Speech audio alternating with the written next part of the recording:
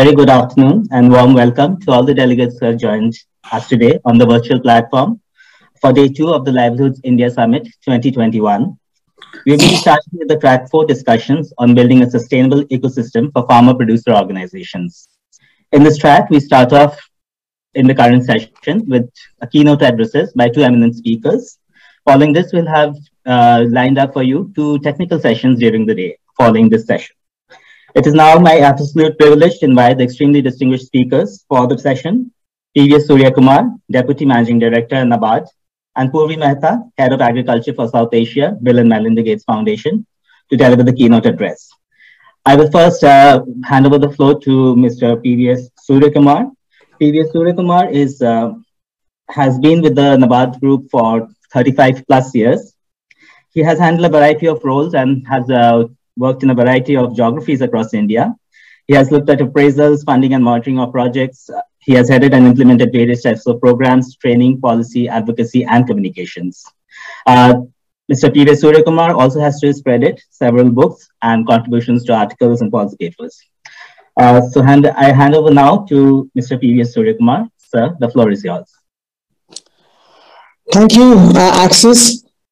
And uh, Good afternoon, everyone. Good afternoon, Dr. Purvi Mehta, and all friends and colleagues who are interested to talk and hear about the farm, farmer producer organizations. Uh, namaskaram to all of you. Uh, to, to talk about this subject in just one minute, it is an extremely simple and extremely powerful idea which is taking time to take roots and uh, some of us are also complicating it. So I would uh, make this initial statement and then let me speak from out of our experience as NABARD and personally my own experience looking at this particular sectors from the past several years. As I said, uh, this is an extremely simple idea. We are asking a group of farmers to come together, aggregate their produce, buy together and sell together. That's what we're basically asking. But at the same time, when we are asking this simple idea to be implemented on the ground, we are experiencing several complications. Look at this paradox, a simple idea which is so powerful, and uh, we're having complications making it really get rooted. So this is a little paradoxical thing. And uh, what we're trying to do, what I'm going to do is uh, can we decode the black box with our experience is what I'm going to speak. Purely uh, the evidence which we have collected from the field over several years. This is what we're going to do. And uh, all of us who are in the ecosystem uh, can make this better, can, can contribute immensely to this. And amidst all these things, an important thing which has happened is the 10,000 FPO program, which the government of India has uh, initiated. Uh, we are also a part of it.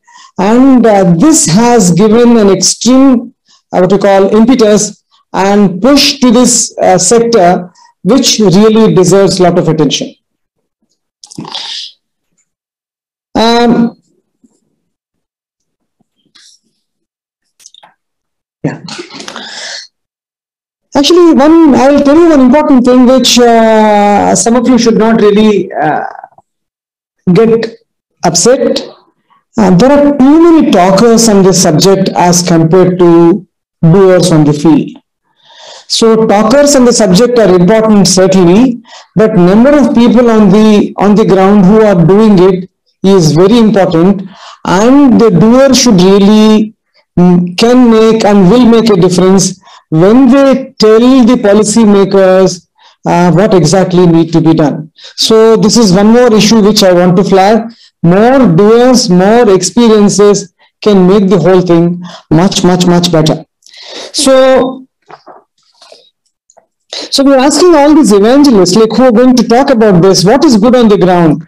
What works in an FPO? How many of the people have seen what works in an FPO on the ground? What works at the board level, why a CEO is interested to deliver, why a board is enabling a particular CEO to deliver, what exactly is the dynamics happening, all this feedback is really required to make, make this movement stronger and more robust. Yeah, what we're trying to ask is we're asking around 300 small farmers to challenge the existing ecosystem in a village. So we are, we are asking them to challenge an agricultural marketing system which has been in vogue for a considerable amount of time. Here is what is the here is what is the problem. So instead of asking them to challenge, if we can if we can really during our interaction talking to people, not to challenge the system, but to become a member, become get ourselves co-opted, get ourselves work in a creeping method is much better than challenging a system. Wherever people said, I want to really replace the existing uh, structure in a village, so many problems have come across. And one more interesting thing which we really need to do is uh, the way things can work in Champaran and Bihar and Chamarajanagar in Karnataka are very different. So India, India is extremely diverse the strategy which works in one place need not work in some other place. So we really need to collect, glean several examples which, which can make this program stronger. And this is our personal experience. Working in working, what works in one place doesn't work in other place. That is the reason in the 10,000 FPO program, there are uh, two there are two training organizations earmarked. Bankers Institute in Lucknow and LINAC in Gurgaon under the NCDC are earmarked earmarked to collect this information and lot of work is happening to uh, to do the training program uh, curate the training modules. All these things are happening and if each one of us who are in this ecosystem continue to feed back into that it will become much better. So let us for a while look at what is the environment what is the enabling environment in this particular place I think whatever is required for the FPOs to thrive already exists. For example, if a bank gives loan to an FPO up to 5 crores, it is considered as a private sector uh, lending.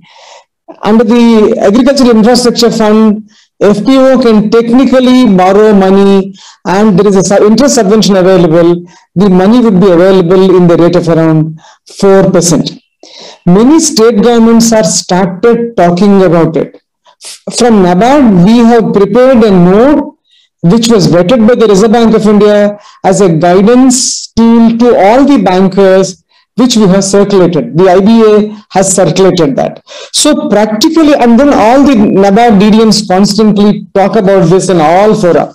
So what we're saying is, there is an enabling environment available, there is an enabling structure available. Only thing is what works on the ground, why things are working, that, that feedback is required to make things work. And as I said, more doers are required than more talkers at this point in time. So from our experience, like we notice things are improving improving very well as far as the fpos are concerned. Say uh, like from our experience we have promoted around 5800 fpos almost 4700 are active. 3000 all all among these 3000 have business plans. 2400 already have some element of market access. The hls heal here is around 800 to 900 only have bank linkages so this is this is the HLS. And the most important point is at some point of time in, in our grading tool, uh, there are categories of A, B, C, and D. C and D category FPOs are not doing well, but over the last two years, the category C and D FPOs are drastically coming down. That means there is a huge movement towards a migration towards A and B. We're, we're pretty we're pretty happy about this particular thing. And as I already told you, the the experience like from Chamaraj, Chamarajanagar and uh, Champaran, I think the strategy need to be extremely be different as compared to from based on the place to place. And uh, here, as I said, when you're looking at any village structure, uh, an element of what you call feudal hierarchy is there. So competing with the feudal hierarchy and getting co-opted are, are two different strategies. Wherever people are working together, they, basically we're looking at coexistence with an existing structure. That is the place where things have worked better in our experience. And uh, and one more thing is many of some of us start talking that FPO should really look at the export market. So I think it's a very, very clear, um, from our experience, it's very clear. Unless until you master the market around you, the domestic market, the district market, the local market, you can't really play outside. So I think even even in the what you call uh, management theories, unless until you crack the domestic market, you really can't crack the export market. So it's very clear. So for example, we have some eight to nine FPOs in Kerala who are exporting very well, but then they're exporting uh, primarily to Gulf. They're exporting because they're having specific commodities which have a different market. So we can't say because what is the export market is happening in Kerala, FPOs should only be looking at for export. I think FPO should be looked at for improving the incomes of the farmers. If we start looking from the direction, things could be much, much better. Then uh, COVID-19 has done some uh, has done some fantastic traction to the FPOs. Um, we have seen several uh, we have seen several examples. Uh, like people have done uh, using Android application. Some of them have started aggregating, uh, aggregating, um, aggregating FPOs to come together. And uh, let's say, for example, I was talking about the uh, competing with the structures. There is a FPO in uh, Darbhanga. Uh, which deals called Kamala FPO, which deals with goats and vegetable seeds and making masks, and they are not exactly challenging an existing order, but they're really creeping into the market. So same is the case with an NGO in uh, which started supplying the grocery kits and then they are going, uh, then they got into some other activities. Same is the case in, in, in FPO in Adilabad district, started working on a COVID literacy campaign. From there, they went into they used that as a fulcrum then they went into uh, marketing the agricultural produce so there are several examples. I have seen recently in uh, on the border of Pakistan in Jammu, a small FPO, a small group of women have uh, in Samba district have done have have come together, formed an FPO because agriculture is not possible because of the constant shelling, and then they have migrated to even making cheese, a local version of cheese, and they're doing very well. So it all depends upon how well we orchestrate these things together. So in one last point, I would like to, uh, two last points I would like to tell. Uh, as if as malls are measured based on the number of foots, footfalls, FPO should be measured based on the number of services which they offer. And the last point is typically from our experience, it takes around two, two and a half years for an FPO to mature and start. This is a gestation period required to make things work. And if we collect examples and curate them together, this is the only way we can decode the black box of making FPOs deliver. Thank you and thank you so much. Thank you, Mr. Surya Kumar. You have in fact finished much ahead of time. Uh, so without much further ado, I'll just move on to our second eminent speaker for the uh, for this session, uh, Dr. Purvi Mehta, uh, Head of Agriculture, Asia, Bill and Melinda Gates Foundation. Dr. Purvi Mehta leads the program's agricultural development work in Asia. Before this, she spent six years at CGIAR, where she was head of Asia Initiatives for the International Livestock Research Institute and head of the South Asia Biosafety Program for the International Food Policy Research Institute. She's also a member of the World Food Prize Foundation's Council of Advisors. She was the 2014 recipient of the Indian magazine Agriculture Today Award for her, for her contributions to agricultural policies in South Asia. Uh, Dr. Purvi Mehta, the floor is now yours.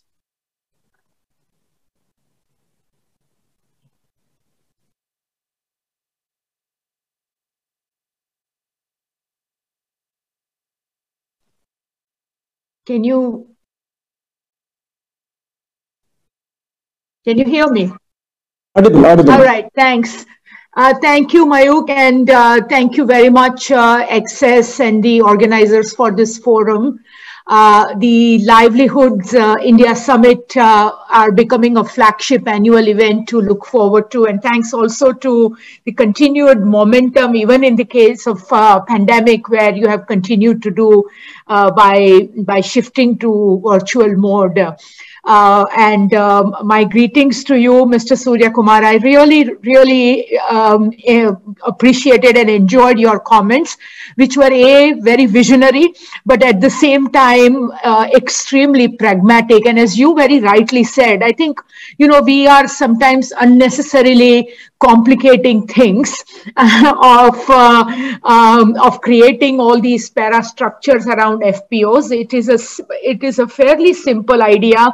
We as a country in India have a lot of experience of such aggregations. Uh, for example, with the cooperative moment, for example, with the SHG moments and so forth.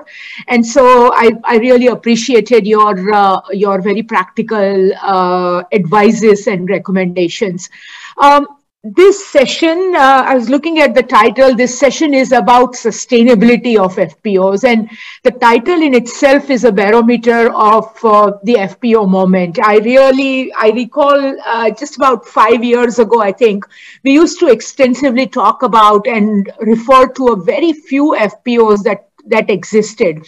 And uh, kept suggesting that uh, you know aggregation of agriculture producers as a potential tool to achieve economy of scale both from an agri input side and agro produce output side would be very very important. I think we as a country have come a long way uh, since then. And um, fpo have become an important mechanism not just in the policy corridors but also for private sector uh, uh, and non-government sectors for basically because it offers better scale, uh, which means better impact at scale, and also um, a, a, single window mechanism to connect with a large number of producers, right? So an important moment uh, when lessons of what has worked and what does not work can be drawn and uh, in, in, in trying to form new FPOs because I think the present number that we have in the country uh, is much smaller than the level of uh, ambition and the the level of potential that uh, that we have. So and uh, this is also more, a moment to talk about sustainability of the ecosystem, especially among existing FPOs.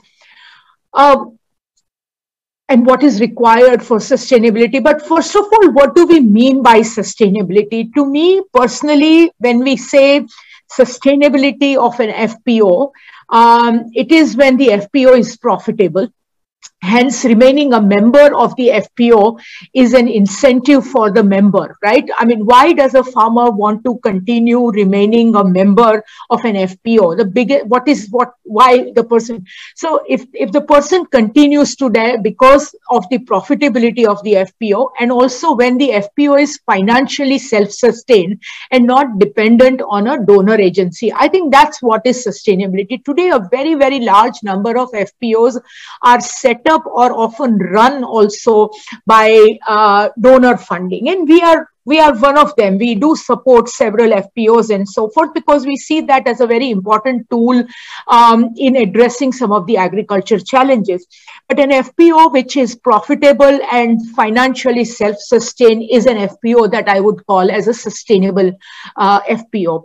Uh, and what are the key factors that makes them sustainable?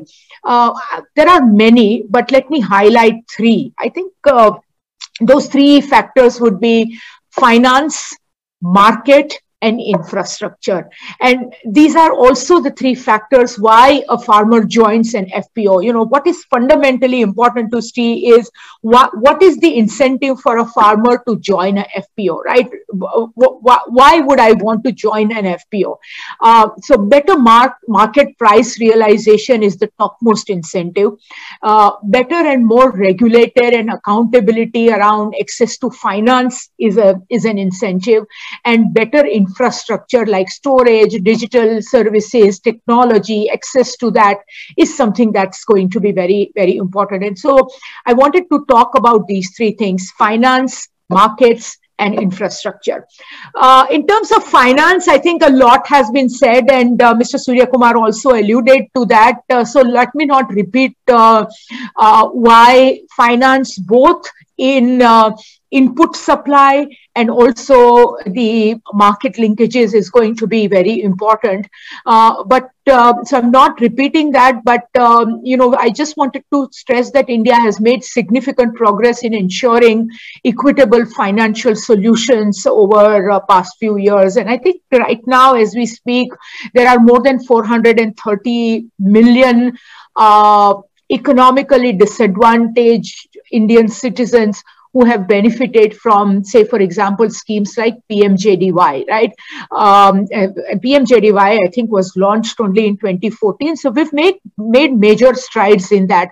Converging some of these individual level benefits uh, and access to aggregated form like FPO will be very, very important. But the second important point I wanted to bring is markets as I said earlier, a farmer uh, joined FPO mainly for better market linkages, right? And uh, any FPO sustainability depends on this one fundamental factor, their ability to access market, uh, their ability to have better price realization and better voice and agency in the market. Uh, so solutions such as daily pricing information to member and utilization of uh, um, uh, uh, sort of an online trading platform to reach out to uh, new markets and risk management have also helped FPOs emerge as, as credible market players for specific commodities and value chain. And I want to emphasize the word specific commodities. I think one of the one of the gaps in the FPO moment right now, also as uh, you would agree, Mr. Surya Kumar, is uh, you know most FPOs are very, very single commodity centric, whereas a farmer depends on multiple commodities, especially a smallholder farmer. And therefore, I think we need to really diversify the number of uh, commodities that the FPOs uh, trade in and the number of value chains that they operate in. But access to quality inputs, retail marketing, physical and derivative commodity markets, linkage with agribusiness. These are some of the areas which are very fundamental to the uh, to the market linkages for uh, for FPOs. And I think uh, what is very important is systematic convergence among the ecosystem players, uh, which often is not happening. FPO as an institutional platform, really, to drive ecosystem cooperation uh, for uh, knowledge sharing from uh, strategic initiative, demand and supply matching, and uh, complementary public-private initiatives.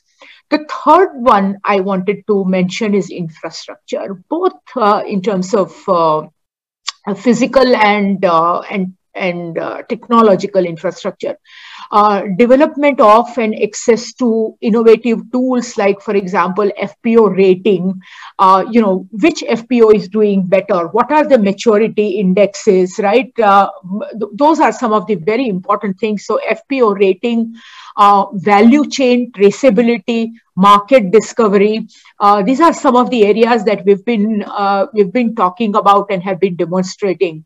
Uh, digital infrastructure for improved uh, intra FPO and inter FPO coordination is also going to be very very important. I think we we will have to make sure that FPO does not remain uh, a, a sort of an isolated entity, but there is a lot of need to do in intra FPO uh, coordination, uh, government FPO scheme deliveries, uh, buyer supply matching for agri inputs and both uh, agri output sale and uh, matching of value added service providers to FPOs and thereby its members, which are predominantly smallholder farmer.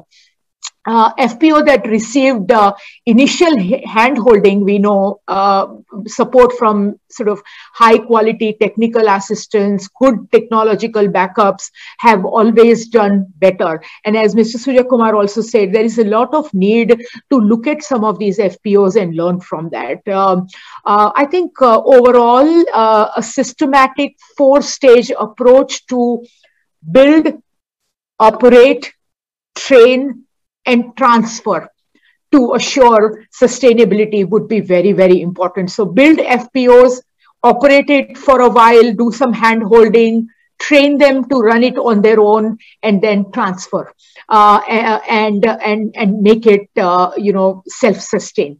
So FPOs are uh, emerging as a powerful tool. I don't want to say it's an exclusive tool, uh, but a very important, powerful tool in our toolbox.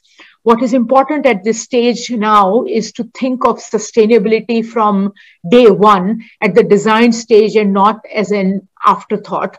Once again, I wanted to congratulate uh, uh, Access for this forum. Uh, your work on the ground is creating some lighthouse FPOs. Uh, I think, uh, uh, you know, you are one of those doers and not just talkers. Um, and may the dialogue continue and translate as, as impact on the ground. So thank you very much again.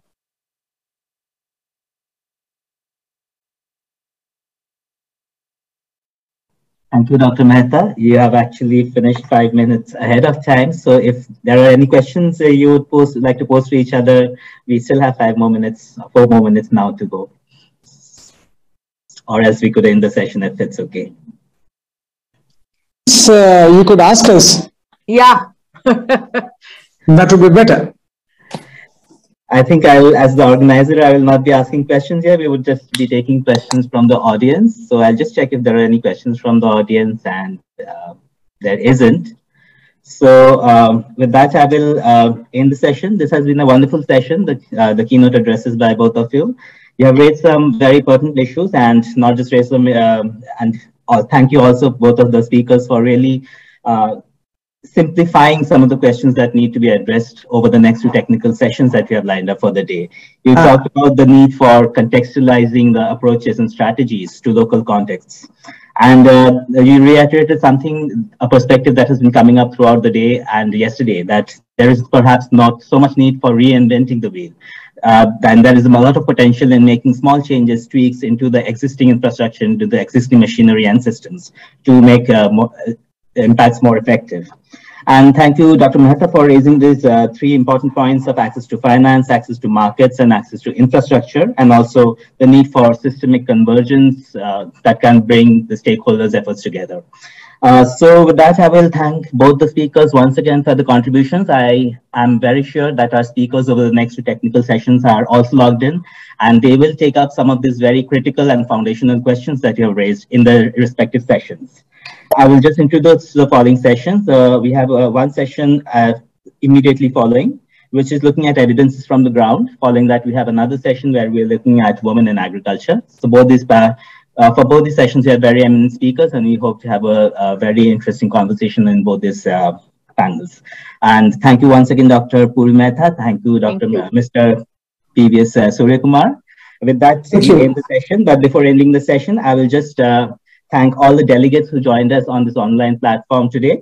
And I'll request you to be back at 2.25 p.m. when we start with the next session, uh, which is our farmer producer organizations beginning to sustain evidences from the ground. Thank you. Thank, Thank you. you so much. Thank, Thank you so much.